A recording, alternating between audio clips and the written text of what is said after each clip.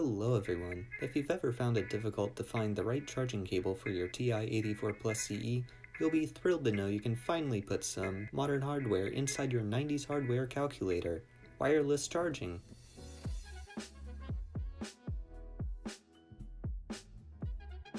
This project will be a breeze for anyone with soldering skills, although soldering skills may not be required since I'll provide some alternatives.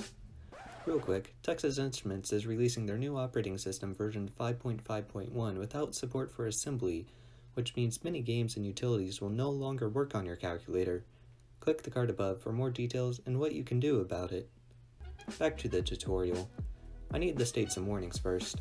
First, this tutorial assumes you already know how to solder components and are familiar with operating a multimeter. Second, this will require cutting a bit of plastic shell in order to fit everything. You only need to cut off a little bit and it won't affect the structural integrity at all.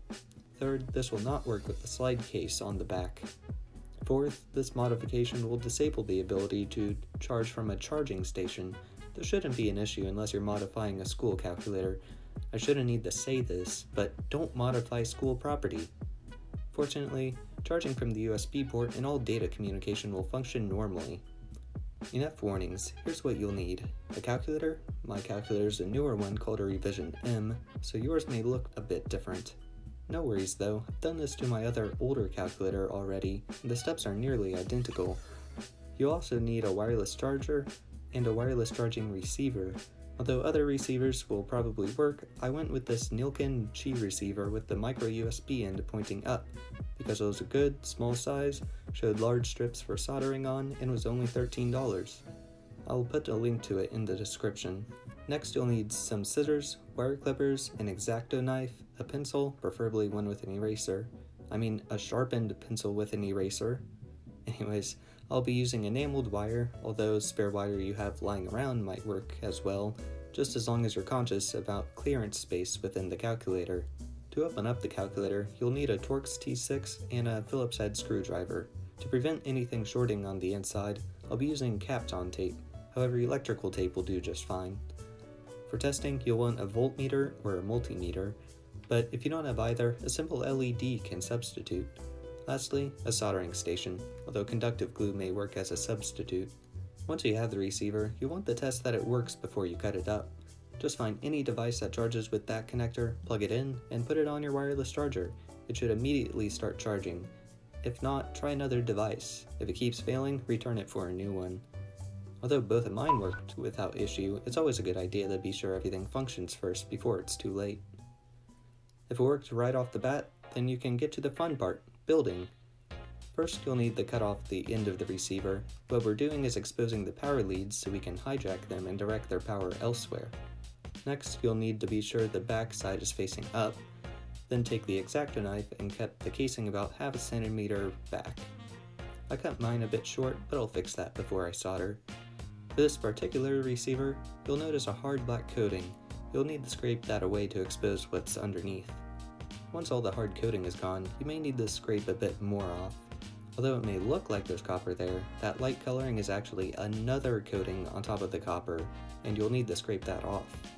You can see the difference between the light coloring and the copper when I put it underneath my microscope. It doesn't need to be perfectly clean, but just know you may need to scrape off more later. Next, it's time to make sure you clean the contacts off well enough. Lie the receiver on your charger, then take your multimeter probes and put one on each contact. If there's no reading, or you get under 5 volts, clean off the contacts a bit more and try again. Once you get a reading, be sure to notate which contact is positive and which is negative. This will be very important later. For those without a multimeter, you can just take an LED and touch the leads to the contacts of the wireless charger. If the LED doesn't turn on, turn it around and try again. When it lights up, that means it's working. Be sure to notate which contact is positive and which is negative. Remember, the short lead or the flat side of the LED is the negative end. Now it's time to be sure it all fits. In order to do that, we need to take the calculator apart. Take the Phillips head screwdriver and remove the battery. Then unscrew the two screws hidden underneath the battery. Now take the Torx T6 screwdriver and unscrew these six screws. Once they're all removed, you can work on splitting the shell apart, which is held together by plastic snaps. The LCD area is easiest to separate, but it quickly gets difficult towards the middle. You'll need to use a lot of force to separate the middle. Once it's all open, wow, that's a lot of foil. At least for me, some of you may have significantly less foil. It's not necessary for the calculator to function and is just electrical shielding. Place the top edge of the receiver at the top of the foil and measure how much wire you'll need. For me, I'll need about 4 inches of enameled wire. If you're using thicker wire, you may want to use a few more inches to account for running the wire to Timbuktu because of clearance issues. Alright, if you tried to close up everything right now, it wouldn't fit because there's too much plastic sticking out of the back shell. There's three main parts you need to cut down. This area that surrounds an empty rectangle, a long strip here, and a little plastic rod poking out of the PCB. If you're using thicker wire, you may need to cut out a bit more. Once you're done, you can fit the receiver in and be sure it closes up correctly. Now it's soldering time. Grab the wire you just cut. If you're using enameled wire, be sure to scrape off the coating at the tips. If you're not using enameled wire, cut off the rubber coating with wire strippers. I have to stress you cannot use bare wire with this project. It will short things out and damage the calculator. You must use wire that has a coating on it of some sort. It's time to test it again. If you have a multimeter, be sure there's absurdly high resistance between the contacts. If there's low resistance, that means your solder is touching somewhere and you'll need to fix it to prevent damaging the components. If that's all good, you can put the receiver back on the charger and test that there's 5 volts getting through the wire. You can also use the LED in this test. Be sure to double check you labeled your polarity correctly. When the wire is attached correctly, take your Kapton tape or electrical tape and wrap up the contacts nicely so they won't short out and damage your calculator. Next, you get the solder the other ends of the wire to the calculator. In order to get the polarity correct, find where it says BC Bay minus and BC Bay plus. This is where you will solder the negative leads and the positive leads respectively.